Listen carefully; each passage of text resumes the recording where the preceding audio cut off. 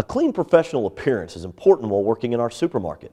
You're the first impression a customer has of our store. So do you think the general public would rather see this or this? No contest, right? Let's analyze what's wrong here. Guys, I know your girlfriend likes the beard, but Grizzly Adams lives in the mountains, not in the produce aisle. So shave the beard before coming to work. Those blue jeans may be comfortable, but they have more holes than a block of Swiss cheese. So leave the old duds at home and wear your store uniform, including name tag, apron, and approved shirt and dress pants.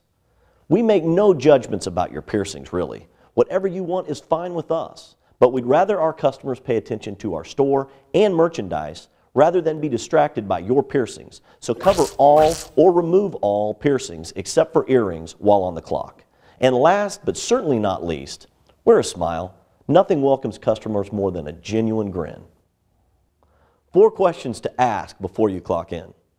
Number one, are you wearing your company uniform? Number two, men, are you clean shaven?